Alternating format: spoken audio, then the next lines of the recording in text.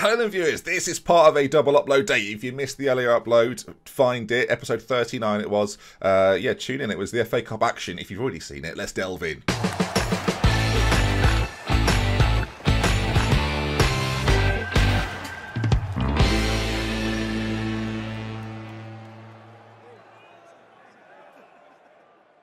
Gang. Hopefully you're up to date and you saw last episode and you're ready for action. Leyton Orient and Crewe Alexandra, as well as some transfer bits and pieces in between to come for your eyes today. Uh, let's see then how we get on. Let's have a little bit of progression in this January window and also see if we sign the man, uh, Gareth Hanna. It seems unlikely. It seems like a terrible thing to do from a club perspective. Well, we'll just have to wait and see what happens today.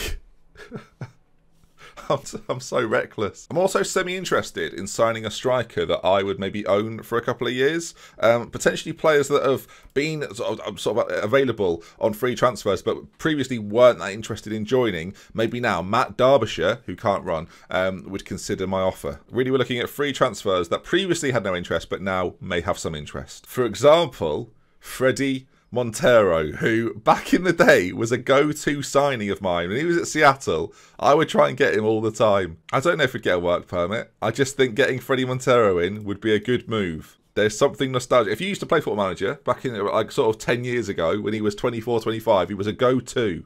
And sure, you'll look at it now and think, Ben, he can't run. Why are you doing it? Because nostalgia. Um, just to see if there's any other players that maybe jump out. We're just looking for the most amount of green attributes, really, to see who's mostly well-rounded. But um, no, there's not too many else there that I can see immediately. It tends to be older players. I think that's the gist of the things uh, that go on. Here we are. Then you can see tactic screen. Uh, the team for this game, we're a bit tired after extra time uh, last game. But so Burton in goal, Lehigh, I'll find it out. Uh, right back, uh, Akuma in the fire, the back two. We've got Seddon out on that left hand side. Pozzo sitting just in front of those two. Robinson and Bidigimani will play uh, next to him. Alabusu, Kasinga Medea, and Fletcher up front. We need some goals from Marky Fletcher. He goes through these spells of doing something and then doing nothing. Um, for the last few games, no goals for him, but I sense that means goals are around the corner. So today, Marky Fletcher, do the business for me, pal. Bagiri Mana will uh, will get number four. I've been saving it for him. He's going to play that Mezzala role. We've changed a few bits up. Alabiusi's gone to a winger attack. Uh, Badigamani has gone to a, uh, so a Mezzala attack. I'm saying his name quickly, hoping it sounds okay. Some of you will have noticed. Um, yeah, sure. I can't. I don't want to call him Gale, really. I mean, I could call him Gale. Gale Force, perhaps, because he's a whirlwind in attack. I'm not going to call him that either. I'm definitely not going to call him that. Right then, here we go. Um, we've got. I was going to say how, how long we've got. Oh my god! It's gone in! Oh my god! It's the perfect start to a game! Brian Turner, they kick off, three players touch it, and the just I mean, we'll give him the goal. It's unbelievable. I've, I've it's never happened. With nine seconds in, it's 1 0 Boston. Oh my god. One of my favourite moments in football manager history right there. Never happened to me before, ever. That is sensational. Can we now score ourselves? Do we sign Brian Turner because that that is finishing ability of the highest level? The goalkeeper questionable. Kasinga Medea plays it for Tamaki Fletcher. I'm a little bit shell shocked, viewers. I did not think that would happen. I mean, not really a surprise as Alabusa makes it 2 0. I'm not over the first goal, to be honest. Nine seconds in, he's just he's bagged. He's from 30 yards, 40. I don't even know how far it was. Seddon whips in a ball, and then Alabusi there to make it 2 0. But I, I, I mean, this this is dangerous. I mean, it could have happened. They chose not to go back to him that time, which I think they've learnt their lesson. I mean, to call it the part, there's, I, have never had a start so good. I, when when a defender of the opposition team scores for you within 10 seconds, it's a good day. I mean, Billy Gaman has turned up and gone, well, this is easy. I'm, I'm not having to do anything here. As um, shot it goes in, Burton with a save, and it remains at 2 0. Goodness me. I'm not. I don't know what to say. Forward though, come Leyton Orient as they're, um, they're working the ball quite neatly. They, they, they do look decent on the ball. I know that's a funny thing to say after what we saw earlier, but um, ball played in as. oh no, Akuma has scored. He's re he's returned the favour. It was in. It was like it was in slow motion. I can't believe this has happened in the same game. The ball's put in, and Akuma there. It's a good. It's not as good a finish. I don't know what our goalkeeper's doing. Oh, it's not good. It's not. It's not. Oh no. It's not a good day for centre backs or goalkeepers. As oh no. Right, throw in on that side. Lehigh tries to find Fletcher, doesn't quite get there, but gets the chance to put the ball into the centre. It's not that good as it's easily cleared, but Akuma sends it in the right direction, which is which is good news. Can the Boston boys work something here and uh, create a chance for Marky Fletcher, who has been quiet recently. I'm hoping putting um, Alabiusu out as a winger on that side gives us a little bit more width as it's nearly gone in. Marky Fletcher, it's come out of nowhere, viewers. Marky Fletcher, it's 3-1. This should be a... Tri- with the length this game is going to, this could be a triple upload... No, it won't be a triple upload day. Da, da, da, da, da, da, da, da, Marky Fletcher. I mean, it's a good goal. Uh, headed across. It's this guy. I'm not sure Walker's a real goalkeeper. it's not good. Fletcher makes it 3 1. We're loving life. I said he was he was in for some goals. It was about time, and he's he's proven me correct. Thank you, Marky Fletcher. I'm not really over Brian Turner and his goal. He's got two finishing. That needs that needs to be changed. I know he's a regen, but let's let's change it up. I'm, I'm kind of pleased he's not a real person in that sense because I would have definitely tweeted him. All right, good half of football though. 3 1 to the good. The team talk's gone well. And as we go into the second half, um, anything could happen. I'm thinking what could happen to make this more ridiculous. I mean, if he scored a free kick, that would have been a bit ridiculous. I'm hoping we see some sort of bicycle kick, viewers. I think that's that's the only thing that can really top this episode off. Or I want to see Turner and Akuma collide and both get sent off. That would be good as well. As um, there's a chance for them. It's beautifully played forward. Bonnie's in on goal. Oh, Bonnie, Bonnie, Bonnie. It's, it's saved. I'm debating whether we should go a little bit more counter-attacking, a little bit more cautious. Not so much on the front foot. Don't necessarily need to. Just sort of protect the lead a little bit for the last sort of 20 minutes. I think too often we go a little bit too gung-ho as uh, Ossie Robinson is going to come up for Chris Lawrence and change a personnel in the centre. Brian Turner. My man. Right, as the, as the time is ticking away, we've only made one change, but I only felt really that one change was necessary. Everyone's played quite well. Kasinga Medea is going to come off for Rob Hall uh, in these latter stages. There's a potential here for us to play Rob Hall on the left-hand side as a winger and have the same thing with Alabiusu. So we've got two wingers instead of two inside forwards. Um, it, it's certainly something I'm going to look at going forward. I don't think we have to stick to this narrow formation with two inside forwards, really trying to penetrate the, the, the penalty area. I think getting balls into the middle to the likes of Marky Fletcher, who's got really good finishing ability, might end up being the way forward. But um, as this game peters out, it's gone well for us. Uh, do we have to watch it again, viewers? I mean, we'll do it at the end of this game. I almost think in 2D it was more impressive than it was in 3D for some reason. As uh, the game is almost up here, Burton to kick this forward doesn't even get the chance to. We'll quickly go back though to the first minute of the game. It's Blunt to Turner. He's a good 45 yards. I've never had it happen before. I love it. That's great. That'll be upvoted on Reddit, no doubt. Talk about throwing the game. Outrageous. 3 1 Boston, though. Well, I never. I've never. Okay, moving on. Crewe in a few days' time. Let's rest the boys for heaven's sake. That was great, though. I mean, that is that is highly enjoyable for me. And Reddit, if you've seen it, I hope you enjoyed it. That was exceptional. Oh, Fredy Montero. Now we're talking. All right. I don't know how much he'll want. I mean, he's not on a contract. Where was he previous to this? Anyway, good Vancouver in America. Okay, so he's played at a relatively high level. He's not been prolific for a few years. Um, but that's not going to put me off. We'll do it on a on a I mean six month contract uh, at one and a half a week, let's say. Let's give him a bit more, 10 grand for joining. He's Fredy Montero. The shirt sales are going to go through the roof. Um, we'll just see what he says to that. And, well, um, it was a good chat. It was nice chatting to you, Fredy. Nice to have a catch up. We'll see you soon. Off he goes as Doncaster accept bids. Oh, here we go. Gareth Hanna. This is the moment for us here. Key player? I think so. Right, contract. This is where things get tasty because Aston Villa. oh my word, we're going to ruin the club. Okay, it's a two year contract, which is not ideal for me, and I don't like it. So what we're going to have to do is add in the clause of an op optional extension for a couple of years. Let's say three years. And because he won't really enjoy that, we've got to up a few little bits and pieces in and around him. Um, so look, if you get 15 goals in one season from midfield as well, that's very impressive. Yearly wage rise, we'll give that to 15%. Signing on fee, let's get up to 20, double what Fredy Montero was getting, fella. Um, let's see what he says to that then. Kaboom. He's taken the, the contract thing out. That's very clever of him. The thing is, though, I want to be able to sell him on at some point because I think that's probably the way this is going to go. And to do that, I need to have him for a number of years. So let's just up his contract just a touch, see what he says this time. He's all for it. Gareth Hanna. Now, morally, as a as the manager of this football club, I don't think this is a good decision. I'm not sure what to do, viewers. I think he's a great player it would fit into a system. We'd have to have a little bit of a system change, but we've got we've got a formation like we've got a formation ready for him. If we switch to the uh, the second version of this, Pozzo has to step out. The problem with that kind of is that Pozzo is one of our best players and has had a really good year for us this year. Um, but I mean, there's a system waiting for for Gareth Hanna. Do we just change everything to to facilitate him? Maybe put the club at risk. I mean I don't know. We've got all this money. Do we just use it on a one one player? I don't know, viewers. Crewe coming up though. Let, us focus on what's in front of us, and um, he'll probably still go to Villa. So I don't know why I'm getting excited. To be honest, if he joins me over Villa, then Aston Villa need to re like they need to reassess their entire club. This is next level stuff, viewers.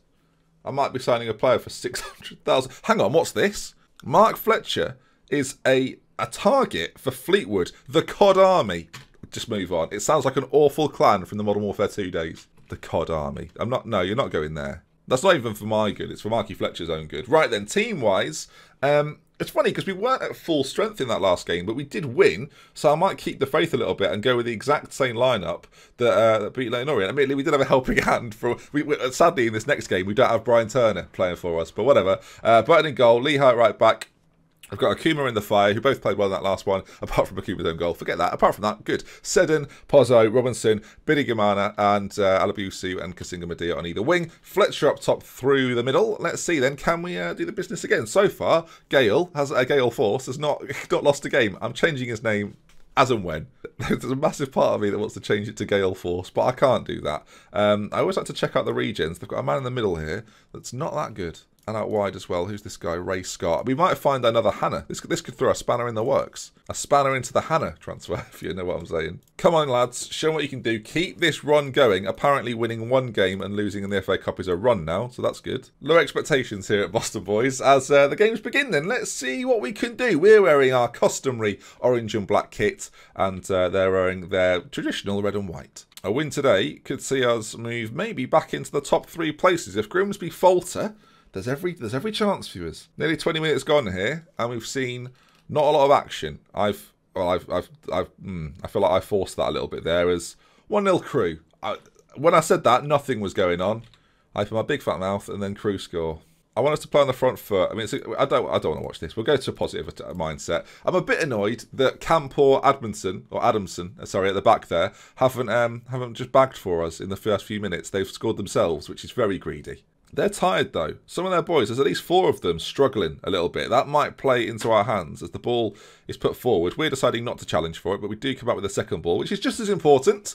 And uh, now we're trying to make this pitch bigger. You can see Alabiusu pushing forward on that side. He's come a little deeper though to be part of this attack. If he can get him on the ball and he can burst towards the byline, there's every chance for us. There's uh, Gale Force brings it forward. Alabusi back out to Lehigh now. He goes back into the centre. Ossie Robinson back into Gale Force. Out to Lehigh again. Marky Fletcher waiting for it in the centre. But Pozzo, oh, he's come forward and he's banged it. Look at that. Iker Pozzo, fourth goal of the season. He's heard the murmurs. We might be changing your position a little bit and, and bringing someone else in further forward. He's gone, hey, hey, hey, don't you worry about that. I can provide an attacking force. Um, not quite like Gale Force. We're using the word force too much. Ball played back to Pozzo, who 20 yards out on the left foot. It's a beautiful finish. It really was. When it looks good in Football Manager, you know it's good. All right, 1 1. Job's looking good so far, and uh, if we can just get a second, put ourselves into the lead, win this game, back into the automatic playoff spot, that's what I've promised. They didn't care. Come on, boys. A lot more to come from you. Believe you've got what it takes, and uh, that's not gone too badly. Some players need to up their game. Marky Fletcher, I'm looking at you. Come on, boys. Let's just uh, let's put our let's put pedal to the metal. You know, is it metal to the pedal? No, it's pedal to the metal. I don't drive, yes, so I, I don't know. Riley on it. Back to Clark now, and uh, can we can we nab in there? It's not looking like it's going to happen quite yet. Dowling back to Clark. And uh, we've got to try and stave this off and then break away as fast as possible. Oh, it's a good block, though. I'll tell you what, defensively, solid. We're quite narrow, but defensively, we shouldn't be quite as narrow. Dowling there, option to shoot, goes for it, but over the bar. And uh, in the game so far, you've got to say, we are dominant from the possession to the shots. Uh, really, this is our game for the taking. Let's make a few changes up front. Rob Hall is, uh, going to come on for Medea. I'm going to go slightly wider. We talked about it previously. In possession, let's play a, fairly wide uh, situation from now on and maybe make a second change as well. Is there anything we want to bring on into this game? I'm thinking Jermaine Anderson, but no, I'm going to I'm going to stick with Marky Fletcher could also come out, but there's not too many striking options. I've once again cocked it up to the level that they've put strikers on the bench, so two goalkeepers on the bench and not put a striker on there. The problem we've got is that our two lone uh, strikers are lone strikers. So we obviously can't have too many on the pitch as uh, Lehigh has picked up a bit of a knock. But we've got a chance. We'll see what comes from this before we bring, uh, bring Rob France on. Is there going to be a chance for us to maybe do something here? Akumu, he's got it. And the Boston boys, with 12 minutes to go, look to take the lead for the first time in the game. Seddon out on his left hand side. Can he get the ball into the centre? He finds Robinson on the edge. He's gone for goal. Not quite found the back of the net, though. Uh, yeah, Lehigh's going to have to come off. Rob France, the perfect player to bring on. With 10 minutes, is there a winner in this for someone? I mean, hopefully for us, right? I mean, there's a corner. Marky Fletcher's on it. Ball whipped in. He's gone for goal. And uh, as uh, Compton claims, I'm not sure he was shooting. I, I don't want to tarnish him like that. As um, looking at this here, they've got 10 men. They've had an injury, I think, after making all their changes. And 1, 2, 3, 4, 5, 6, 7, 8, 9, 10 men. With five minutes to go, Will that prove uh, pivotal? I didn't even notice until now, but Hall out to Seddon. If he pulls it back across to someone there, Robinson, surely a chance. No, cleared away. But, I mean, they're defending for their lives now, our Crewe. Back out to Seddon. Finds uh, Gale Force. He puts the ball in. Alabusu's there for a second time. Yes! 2-1. Boston take the lead, as I say, for the first time in the game. The, the injury to Crewe, I feel from a little bit. You can't do much about that. They've been FM'd to a certain extent. And it looks like two wins on the bounce for us in this episode. Lovely ball across. Alabusu, first time finish. Didn't quite come off for him, but second times reacts quickly. And 2-1. Uh, oh, but we're so good with with the assist of defenders helping out. But uh, six minutes of of time, free kick. This isn't over for Crewe And Travis Johnson's. Oh, I should have. I shouldn't have stayed positive. I should have gone defensive. We're going to go very attacking. I mean, we just stand still again. Marking optional. It was an episode name recently. We're, we're still not. It's not. It's not a full time pursuit. As three minutes to go, I've gone very attacking. Hello, one minute to go. Ball played in. It's Hall. He's offside. I can see he's offside. I'm not getting excited. He's offside. Rob Hall offside. Good free kick delivery though. With 30 seconds to go, is there going to be one final twist? In fact, let's watch this again. Oh, he's barely off there. I mean, mm, I'm. I'll just stay quiet. The game's broken. Ten seconds left. Is there still hope? No, the hope. The hope has gone. I mean, Hall, though, there, there might be, a, oh, there's a slim chance there, there could maybe have been a late moment of drama. If Seddon puts a decent delivery in here, it could still happen. Alabusu, it's what a save. Again, oh my word, I thought it was over, it wasn't over. And we could have snatched it at the last. We gave it away, we threw it away, and we could have grabbed it back. Not this time, though. Boston 2, Crewe 2, and we remain unbeaten for the episode, which is not as impressive. All right, passionately say, uh, I was pretty happy. Oh, okay. No, I was furious. I mean, I mean, I was furious. I don't think that's all too bad. Right, the big news here, though, we've got a game in two, uh, two days or three days, sorry. But what's happening with Gareth Hanna? I need to know. I need. To, I need. I need. To, oh, don't know. I need to. I need to get the information on this. I need to know what's going on before anything else. Let's rest the boys for upcoming game at Stevenage but I need to know what's happening with Gareth Hanna. I feel like we all need to know, viewers. We all need to know. Yeah, Lewis Gibbons can leave, everyone. I'm not, I really don't care. I'll offer him out for nothing. He can go. fine. You're not forcing a way out. I'm pushing you out the door. I'm shoving you through the cat flap is what we're doing. The problem we've got, obviously, is that there are, there is interest from other teams. So if he's if he's looking at a contract from Aston Villa, now where are Aston Villa right now? They are a Premier League side, 19th in the Premier League though. It's not good. They're going nowhere, viewers. I noticed that Kylian Mbappe has signed for City. I mean, really, that's not that's that's fair. Portsmouth make France offer. Wow. I mean, they're already down the south coast. They're looking to take the whole of France now. Portsmouth needs to calm themselves down. Talk about expansion. I mean, that's outrageous. They've offered £32,000 for France. It's, no, it's You wouldn't even get one section of the Eiffel Tower for that. Now Birmingham want France. I mean, there's no way Birmingham are going to get France. The commute's already a nightmare. I mean, there's no, there's no way. Viewers, I'm concerned. I don't think there's going to be any resolution on the uh, the situation with Gareth Hanna. So we'll have to find out what happens next time. Next episode will start with Gareth Hanna information. I will see you for it. If you enjoyed today's episode, please do drop a like on it. If you want to see some more, make sure you subscribe to the channel. And we love with care from me to until next time. An action-packed episode. We'll never forget Brian Turner. What a goal.